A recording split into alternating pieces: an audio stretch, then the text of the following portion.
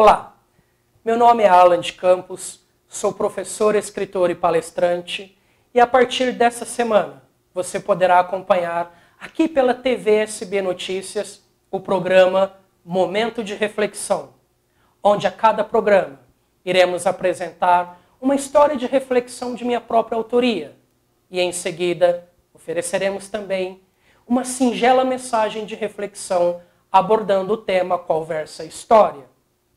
O nosso objetivo é promover reflexão, oferecendo também, aqui e acolá, uma palavra de incentivo, de encorajamento e de esperança.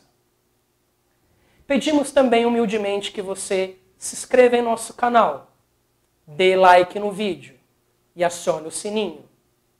E caso você goste do vídeo, que você possa também compartilhá-lo com seus familiares, com seus amigos e com as pessoas que você gosta e quer bem, nos ajudando assim a promover reflexão, de onde provém toda e qualquer transformação.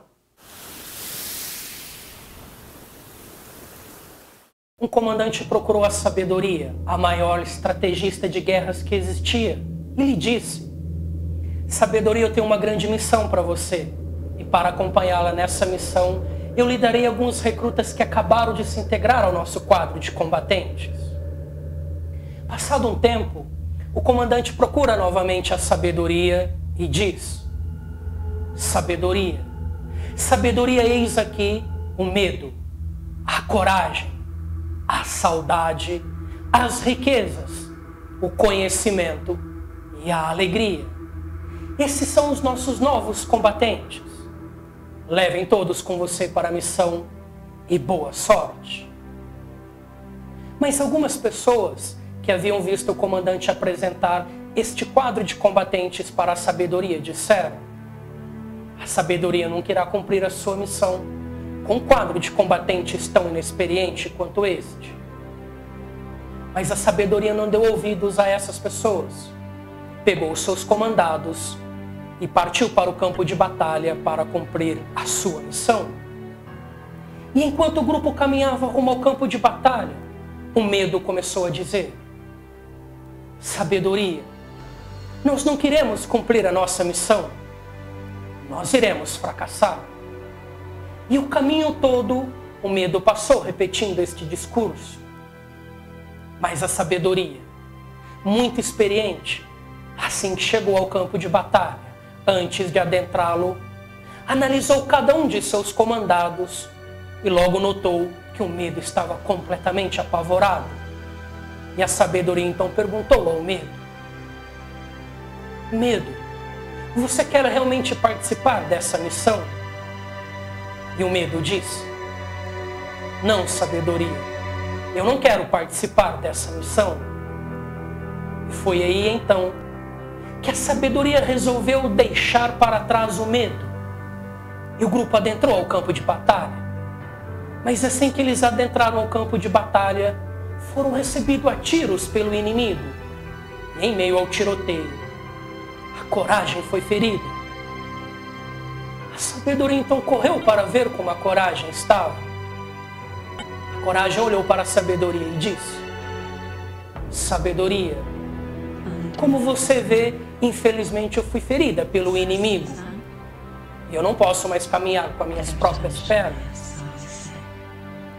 Mas sabedoria, eu gostaria muito de continuar nessa missão. E foi aí então que a sabedoria resolveu carregar em suas costas a coragem. E o grupo começou a avançar na missão. Até que um dado momento, a sabedoria percebeu algo muito preocupante. Ela notou que para onde quer que o grupo se deslocasse, logo se via cercado de inimigos. E a sabedoria então pensou: horas, só pode haver um inimigo infiltrado em nosso grupo só pode haver um espião infiltrado em nosso grupo, pois não pode ser. Para onde quer que a gente se desloque, logo a gente se vê cercado de inimigos. A sabedoria passou então a investigar cada um de seus comandados, até descobrir que a saudade era uma espinha inimiga. Foi aí então que a sabedoria resolveu matar a saudade. E o grupo continuou avançando na missão. Até a sabedoria notar algo extremamente intrigante.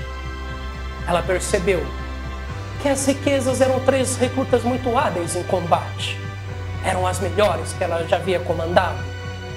Mas notou também que as riquezas só ficavam ao seu lado lhe protegendo.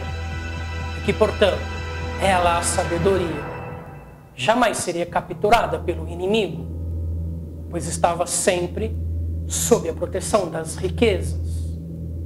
Mas as riquezas, ao se dedicarem exclusivamente a lhe proteger, deixavam, de certa forma, o conhecimento e a alegria desprotegidos.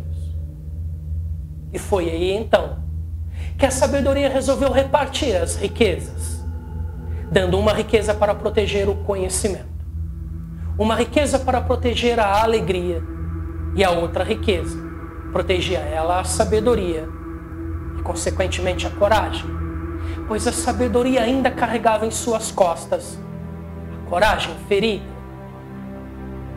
Num dado momento, o grupo cai em uma emboscada e se perde só volta a se encontrar depois de muito tempo. E ao se encontrarem todos, a sabedoria logo nota a falta de um recruta. A riqueza que estava protegendo o conhecimento então diz: sabedoria. Infelizmente, o conhecimento foi capturado pelo inimigo. Nisso, uma grande tristeza bateu o grupo. E mesmo a sabedoria, muito experiente, ficou completamente desmotivada. Mas foi quando? A alegria resolveu entrar em ação. E ao falar, devolveu toda a motivação ao grupo. E foi a partir daí que a sabedoria resolveu sempre, sempre deixar a alegria falar mais alto. Quando a coragem olhou para ela e disse: Sabedoria, eu já estou melhor e já posso caminhar com as minhas próprias pernas. Portanto, pode me pôr ao chão. A sabedoria ficou tão contente com aquilo que ela olhou para o grupo e disse: Agora nós vamos buscar o conhecimento capturado pelo inimigo, aonde quer que ele esteja. O grupo passou então a buscar o conhecimento. E após muita procura, eles o encontraram. Mas o conhecimento estava amarrado e amordaçado pelo inimigo. O que a sabedoria fez? Ela ordenou as riquezas que ficassem dando cobertura e ordenou a alegria e a coragem que a acompanhasse no ataque. E foi assim que a sabedoria resgatou o conhecimento e o integrou novamente ao grupo. Agindo assim, a sabedoria venceu todas as suas batalhas e cumpriu com êxito a sua missão. E ao retornar ao quartel, a sabedoria foi recebida com muitas honras pelo comandante e aquelas pessoas que haviam dito que a sabedoria jamais iria cumprir a sua missão com um quadro de combatente tão inexperiente quanto aquele, estavam todas ansiosas para saber o que a sabedoria tinha feito para vencer todas as batalhas e cumprir a sua missão com um quadro de combatentes tão inexperiente.